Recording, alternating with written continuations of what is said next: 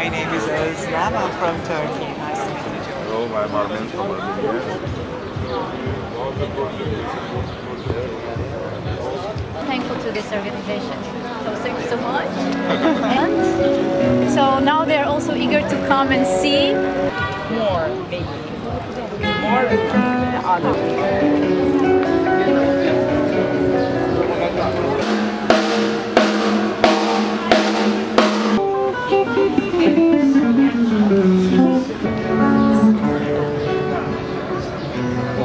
ტურიზმისეული ადმინისტრაცია გახლავთ ფესტივალ კავკას ჯაზის მხარდაჭერი. ეს ფესტივალი 2010 წლიდან იმართება თბილისში და ძალიან მნიშვნელოვანი რეგიონალური ფუნქცია გააჩნია. ჩვენ ჩამოვიყვანეთ და მოვიწვიეთ ჟურნალისტების ჯგუფი საქართველოში იმისათვის, რომ ცნობადობა ჩვენი ქვეყნის შესახებ კიდევ უფრო გავზარდოთ.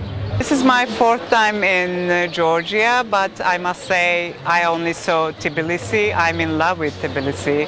Actually, I fell in love with Tbilisi the first time I came here. The jazz festival, uh, I think it's a small but very important jazz festival because it has a mission to bring the, uh, the, the, the, the Caucasian countries together, and there is a dialogue with, through music.